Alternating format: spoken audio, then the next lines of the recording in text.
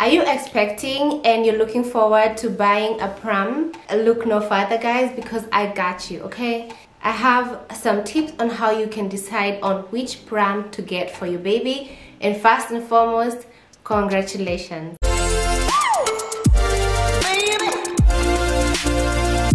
Hi guys, welcome back to my channel. My name is Martha and this is the beauty and lifestyle channel. Please do feel welcome. Subscribe down below for videos on lifestyle and motherhood and beauty. So on today's video guys, I'm going to give you some tips on how to decide on which kind of pram you should buy for your baby. I know that I actually needed to watch such kind of a video when I was pregnant. When I was pregnant with my first child, things about babies now started to be um, I don't know, interesting to me. I, I started looking at prams that people were pushing. I started looking at children actually. Like before that, it was just something, you know, it's not something that really interests you as much um, if it doesn't really concern you like that. So yeah, once I got pregnant, I started looking at children, at parents, and at prams. Things like that started interesting me.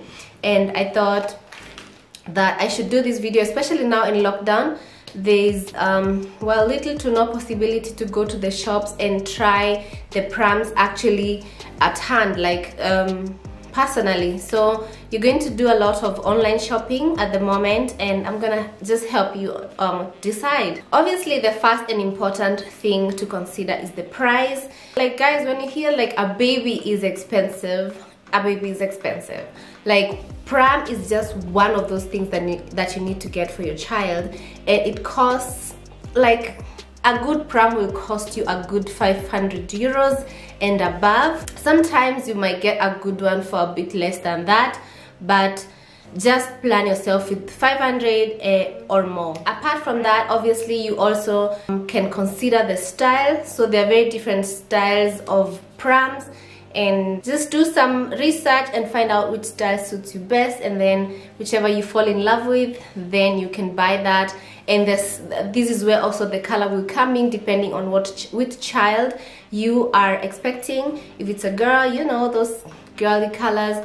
Personally i just got a neutral color because i was thinking uh, well maybe i can use it on whichever child actually? So I can use for any gender of the baby. Um, of course another thing to consider is how much weight this baby pram can carry. And this is in terms of of course the baby yeah? For example the pram that I personally have is a pram where I can use it when the baby is new yeah? The, like with the bus bassinet I think you call it bassinet. And you can use it as a stroller as well. Obviously I had to consider the weight because I knew that my baby would use the same frame and uh, like later on when she was older. So and that is where the adaptability comes in guys. There you can buy a pram as a single by itself with the, just the bassinet or you can buy uh, a combi a combi pram. That is where you have the newborn bassinet and also the stroller for like when the baby can sit uh, by by itself the baby can sit by itself. You can buy another single or the combi. So my my mine is a combi right? So after the baby is around six months they can change into this the seat the well the seat. Can call it that the stroller. So the other thing guys is the comfort. Yeah i, I think i already mentioned that the the comfort of the bassinet. So the baby is new. The baby is so fragile. The baby is just so so tiny um, the spine is also not yet properly developed. So get a pram that is comfortable. Like it has a, like a small mattress which means that when you lie the baby there it, it's comfortable and protected. So and also the it has a canopy.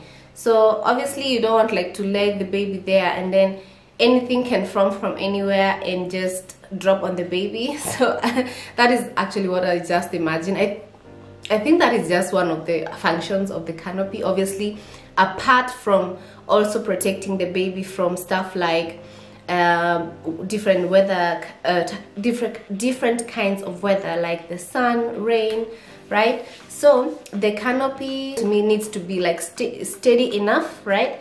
Has to be yeah strong enough and also have the correct UV protection okay? Some of these uh, prams do not have the uh, proper UV protection for baby but some do have and that is actually that is a factor to consider. So the next point is that it has to be easy to fold especially when you're dealing with space and that is um, uh, that's going to be a factor to consider to be honest because you also have to be sure that it can actually fit in for example the car the boot of your car right? So it has to be easy to fold in order to fit into your car right? Or even if it's uh, at home and you want to pack it away then an easy to fold pram is so important. Guys the next most important thing to check is the wheels.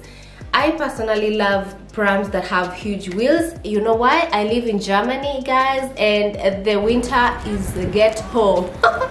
yeah, so guys, the winter sometimes when the snow is still lying, uh, it's very, very difficult to maneuver the snow if you have just the tiny wheels.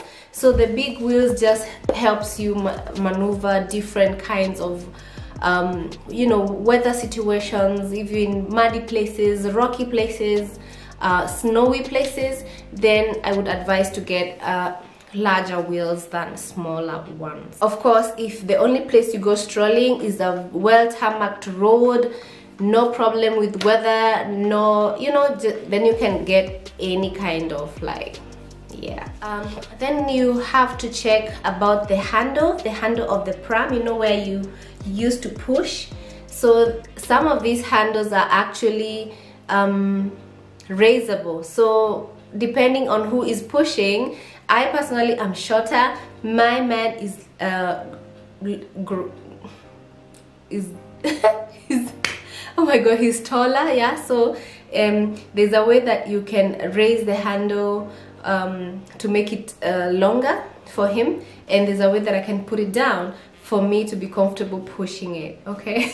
Oh yeah the the handle also there's a way that there are some handles that are really uncomfortable to hold for so long because they're maybe stiff but there are some which are very well squishy comfortable and strong uh, so that like it's just comfortable to push the stroller.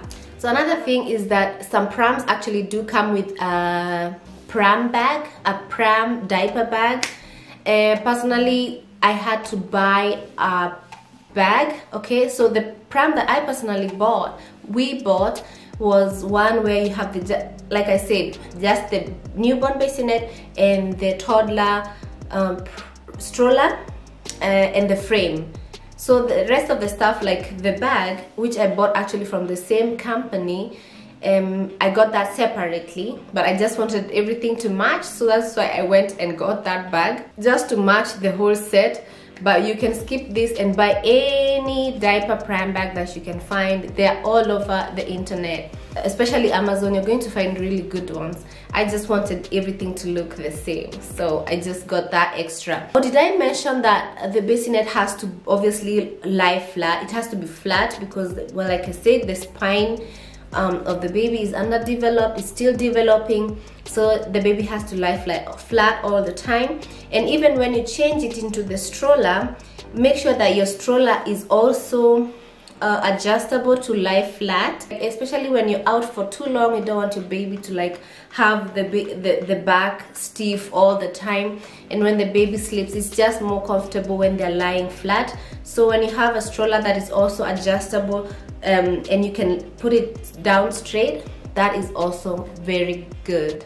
Most brands or strollers do have a storage underneath where you can place maybe I don't know if you have some shopping to do. If you have a bag yourself that you need to put there sometimes you're going i don't know swimming or you're going just anywhere and you need some toys for the kid.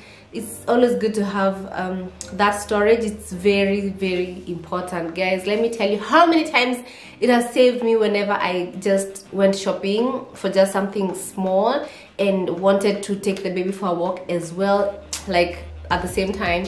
So that was actually quite quite an important thing. Obviously another thing to consider when you're buying a pram is whether or not you're buying the pram for one baby or several babies. Sometimes um, of course if you have twins you have to get a twin twin pram or three kids. That's also possible.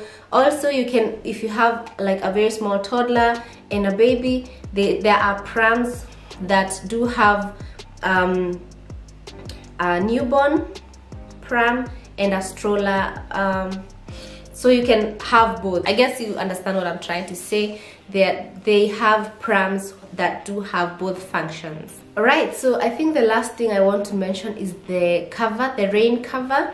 Uh, i think we ours came with the rain cover or we bought that extra. There are always um well you just have to consider in the price what is included in this price?